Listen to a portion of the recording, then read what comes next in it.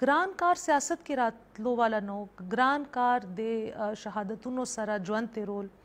د وینې تویدو نه پس ته لایف تیرول ګران کار دغه دی بیکاز چې کوم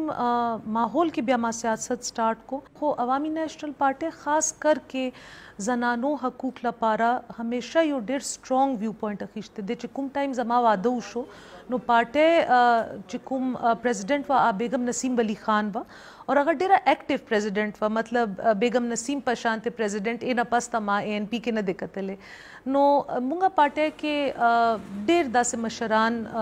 وی ول فیمیلز چې چا یو ډیر بولډ سټانس او هغه د ډیر یو ډیفرنٹ بولډ رول نو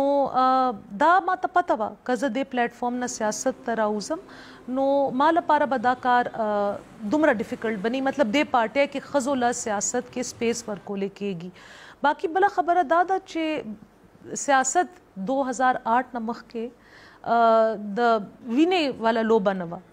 مطلب دی کې به سیاسي اختلاف او ګټه او بیلات به دا خبره چې اوس رالی بیا چې کوم ما کورنۍ سره وشوي نو دا خو زما کله سوچ کې نه کله خیال کې نه ور دا کله زما مطلب سوچ هم نو کړی چې لایف کې به داسې مومنټ راځي چې انکل شهادت نه پس ته هارون سره به مکه شانته واقعیا کیږي څومره ګرانه ده د بچو خصمانه کولم په سیاست کې د خاون زه د هارون بلور د بشیر بلور شهید زه هم د هغې زه مغشتل او سره د دې د یو کورنۍ په حیثیت د یو ښځې ژوند تیرول څومره ګرانه ده؟ ګران کار خو دی جی خپل لایف پارټنر بغیر ژوند تیرول ان اټ سیلف مطلب دا ډیر یو ګران کار دی او زما زړه نه صرف الله خبر دی خو دا دی چی زما بچو ژوند کی نور څوک ونه نو ما کی دا همت چی کوم پیدا شوی دی ما کی دا جذبه چی کومه پیدا شوی ده دا صرف ځکه ده چی زه یو مور وم که زه صرف د هارون کور والا وم یا صرف د هارون ښځه وم نو مې بي ما به سر نه اوچت کړی خو بیکاز زما ماشومان وو هغوی ته ضرورت و چې لایف هغوی لایف کې څه سټیبیلیټي راشي هغوی لایف کې یو ډایریکشن راشي نو هغه د کور سربرا یو رول ادا کولو لپاره ما ځان کې دا همت پیدا کړی دی نو ګران خو دی لو خو مور چې کومه دا خپل بچو لپاره هر حد پار کولی شي. د هارون په هکله څه داسې څه یادونه زموږ دې کتونکو سره شیر کول غواړې؟ هارون یو انتهایی ښه هسبنډ انتهایی ښه فادر ډیر جنټل ډیر ډاون ټو ارث کور کې ټولو نه زیات ان ډیمانډینګ او زمونږ ټولو ته ډیر زیات پیمپر کولو والا نو هغه ما ماشومان خو یقیني تور باندې یتیمانان شو خو ما ته یو احساس یتیمی کېږي بیکاز هارون به داسې شفقت کولو چې څنګه زبم هغه لور وم نو موږ لپاره ژوند اوس ډیر بې رونق او ډیر ګران شو جی د واقعي نه پس ته سمر بی بی ولې د پښتنو په دې معاشره کې زنانه سیاست کې ډېرې زیاتې کمې دي؟ ګورې جی یو کامن مس پرسپشن دا دی چې ښځو ته څوک ووټ نه ورکوي خیبر پښتونخوا کې مطلب دا هغه ځای دی چې چرته نه زمونږ مشر حاجی غلام احمد بلور بنظیر بھټو نه الیکشن ګټلې دی نو پېښور داسې هغه ده نو چې کله زما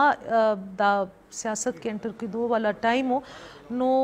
مشر حاجی صاحب هم دا یو خبر هغه نور څه اعتراض نو هغه دا فیرو ستوي هغه دا خدشات چې خلک خزه ته ووټ نه ورکي نو د ځل په خبر عوام دا خبره پروف کړه چې مې بي اوس هغه چینج لپاره حقيقي چینج ستوي هغه لپاره تیار دي خو زه وایم چې دا ښځو له هر یو شي کې چې دا مخصوص نشستونه شوي دي نو دې کې ښځې یو سیاست کې خو رالې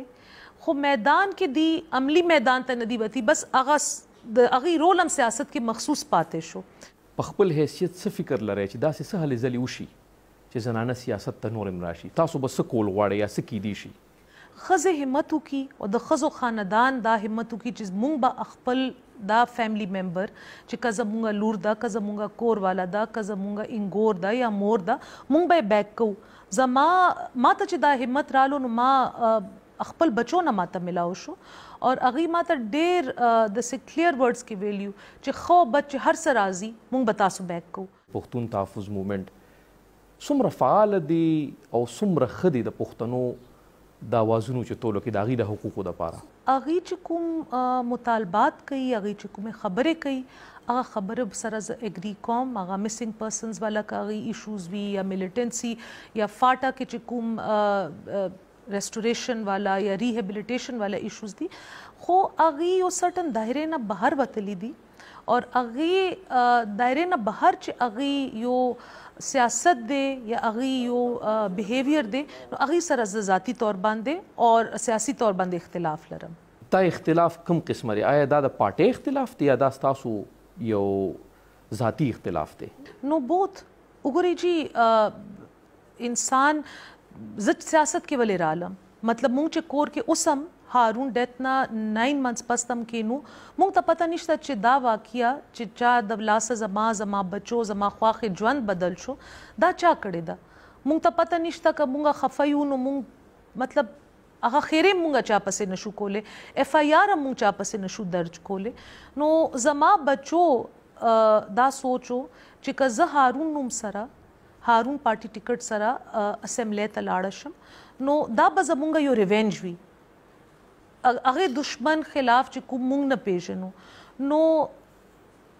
دایره نه بهر خو زم وتلی شوم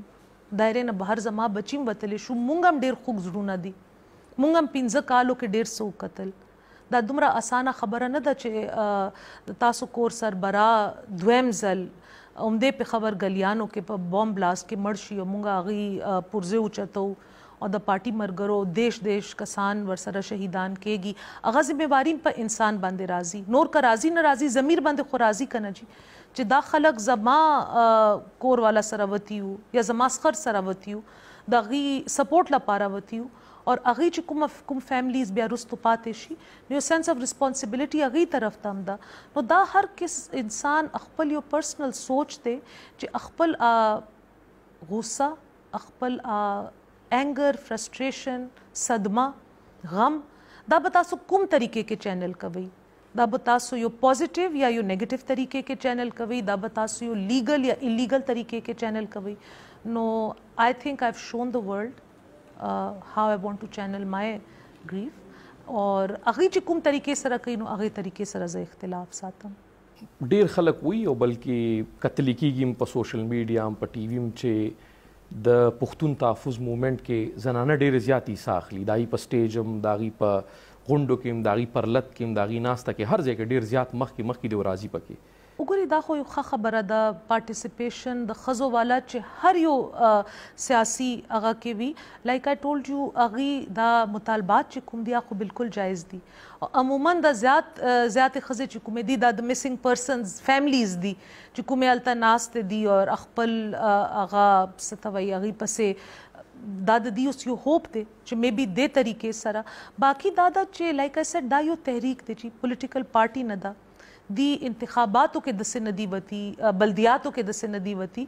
نو هغه سټرکچرینګ چې دی کوي نو بیا به مونږه ګورو بیا به زم هغه په دې باندې یو نظر ساتل غواړم چې بیا دی خزو ته او څنګه پارټیسیپیشن ورکي څنګه ټیکټس اوارډ کوي او چې کوم ټیکټس آی تھنک جنرال الیکشن کې اوارډ شوی یا ټول میل کینډیډیټس ته اوارډ شوی هغه طرف نه